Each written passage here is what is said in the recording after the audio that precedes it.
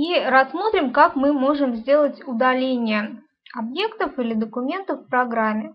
Ну, удаление у нас идет два этапа. На первом этапе мы помечаем нужный нам документ или элемент там, справочника, например.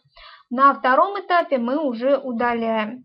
Ну, вот давайте зайдем в платежное поручение. Здесь у меня есть один документ, который мне нужно удалить. Вот у меня двойной, как вы видите, да.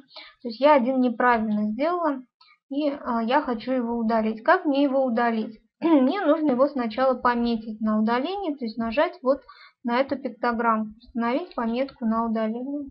Я соглашаюсь, нажимаю «Да». И посмотрите, у меня появляется красный крестик, то есть данный объект помечен на удаление. А если вы, например, неправильно поставили отметку, вы можете снять эту пометку, а, то есть нажать снова на вот этот крестик. Видите, пометка у нас снимается. Ну и снова нажмем. Теперь мы пометили документ на удаление. Вы так можете пометить а, столько документов, сколько вам нужно для удаления. И, соответственно, потом их за один раз удалить.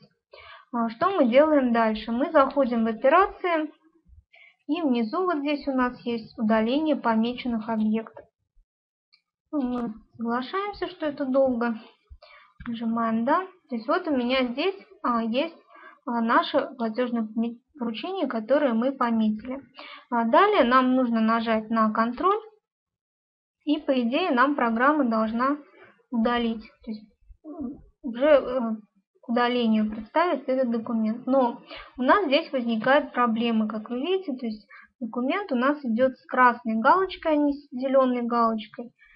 А, и, соответственно, удалить его невозможно. То есть вот здесь у нас, видите, невозможно удалить один. Почему так может быть? То есть а, такое вполне реально на практике. То есть вы можете посмотреть, почему у вас программа не удаляет а, нужный вам документ, то есть став на него и вот здесь вот посмотреть на ссылки. То есть у нас на данный документ ссылается еще один документ, следующий, списание с расчетного счета.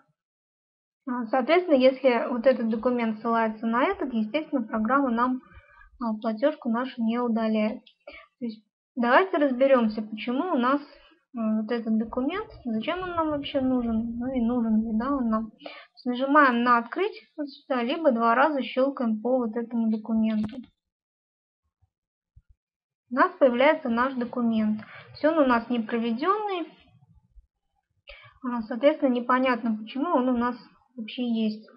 Давайте можем свернуть, посмотреть, что у нас с ним не так. То есть заходим в банковские выписки.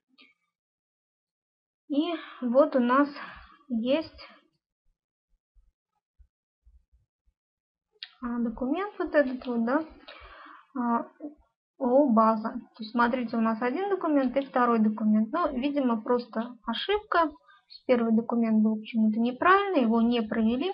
А, и уже сделан второй документ, который у нас уже проведен, и, соответственно, он уже правильный. То есть этот документ мы можем, в принципе, тоже пометить на удаление. Он нам не нужен. Нажимаем «Да». Снова переходим в наш а, поиск удаления объектов.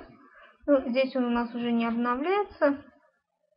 А, можно нажать поиск, ну, либо зайти заново. То есть, если мы поиск нажали, у нас еще появился, видите, дополнительный документ. Нажимаем контроль, посмотрим, что у нас удалится на этот раз. Теперь у нас все нормально. То есть, видите, документы оба помечены зелеными стрелочками, ссылок никаких на них нету, то есть и возможно удалить два. То есть мы нажимаем удалить. А, все, у нас эти два документа удалились. То есть если мы зайдем теперь в банковские выписки, а, вот у нас был документ, вот здесь вот он, да, на 192 2 февраля, то есть второй, его уже нету, то есть мы его удалили. А, вот так а, в программе можно удалить объекты и, соответственно, удалить те объекты, на которые есть ссылки. То есть исправив эти ссылки, а, разобравшись, почему эти документы невозможно удалить.